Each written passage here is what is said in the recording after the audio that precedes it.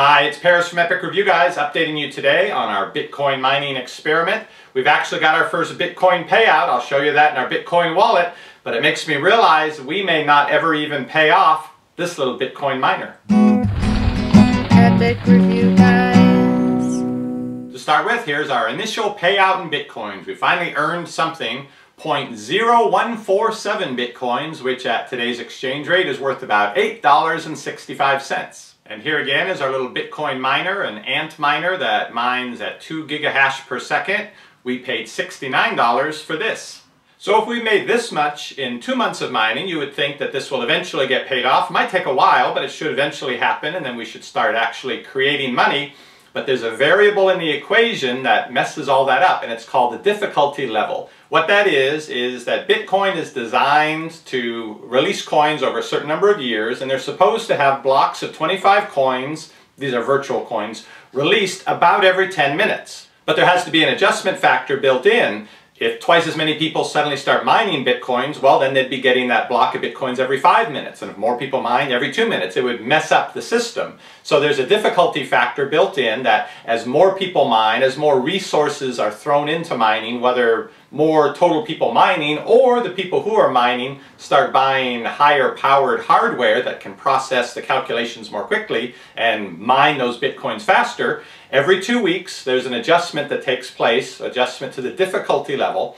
They look at the total resources being put towards the Bitcoin mining and then they make it usually more difficult. Now we started mining January 21st and so according to the online calculator where you put in how fast your mining device is, how much electricity costs where you are, and the various information, it will calculate how long until you pay back your original device, how long until you're making money, but it doesn't put in the difficulty factor because they don't know what that's going to be. Well, in the first two adjustments after we started mining, the difficulty level went up by a total of 30%. Even though it showed that I had earned this little portion of Bitcoin, so I should be closer to that $40 payout, it was showing it was still going to be five months.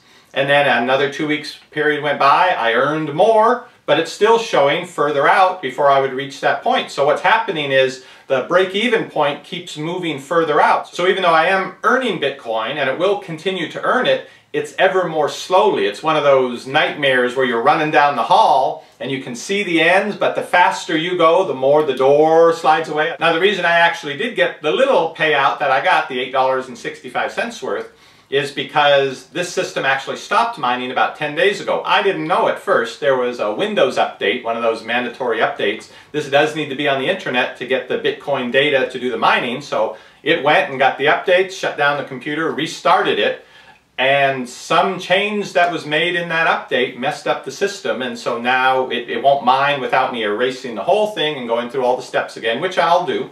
It does show that the Bitcoin mining devices though are not just set it and forget it. You do have to monitor them or it could go down for a few days and you wouldn't have mined at all in that period of time and you wouldn't realize it. Now there are three ways that I still could come out ahead and make money mining Bitcoins. I don't have control over any of them, but here's the secret to making money on Bitcoin. Number one, if a whole bunch of people who are currently mining Bitcoin decided it's not worth it, they shut their machines down, took away all those resources from mining, then the difficulty level would go down and my break-even point would start getting closer instead of further away. That hasn't happened so far. The other thing is the value of Bitcoin could go up 10 times. So instead of wherever it is now, six, seven hundred dollars, at that rate, the, what I've earned so far is worth $8.65. But if the value of bit, the Bitcoin goes up by a factor of 10, now one Bitcoin is worth six or $7,000.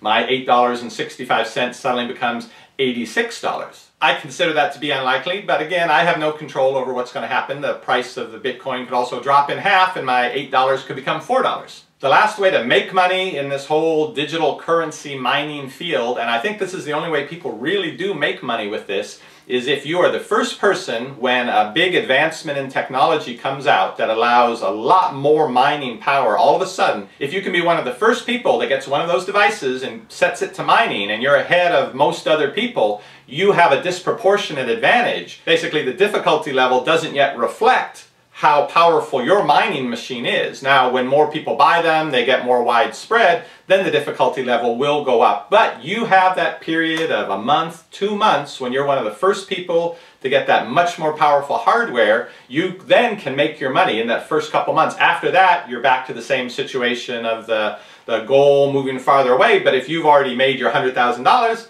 then you don't care so much. Now based on my reading and research into the subject, I don't think there's going to be another giant technological advancement in Bitcoin mining just because it's come so far so fast and where it can go from here is basically how computers get faster, a little bit more each year, but no giant jumps. We're sort of past that. The technology is more mature. But there is this field similar to Bitcoin, which is Scrypt coin. It's um, still digital currency, but it's a lot more, even more Wild West than the Bitcoin and the prices fluctuate and it's all a pretty big gamble. Well, up until recently, that hasn't had a dedicated machine like this little thing that can very powerfully, quickly mine those currencies. For those, you basically still were doing it on your computer, on your video card, but somebody found a way to create a dedicated device to do it much, much faster than a computer. I was just looking online that uh, a few hours ago, KNC Miner, they uh, just released one of the first devices like this that will mine those Scrypt coins. They sold $2 million worth of them in four hours because people in the know know if you can be the first kid on the grid that has all that mining power, you're going to have a big advantage until the difficulty level moves up to reflect that added mining resource. So that's when you make your money. But it's a gamble. Let's see the machine start at $10,000. Now, if you have $10,000 lying around, I'll put a link down below this video to this news story about the KNC miner if you'd like to give it a try. I'm sure some people are going to come away from this with a lot of money.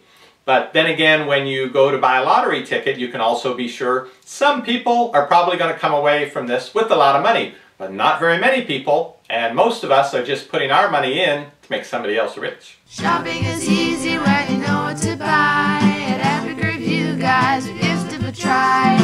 What does the fox buy? Nobody knows. But before he goes shopping, he watches our videos. Oh.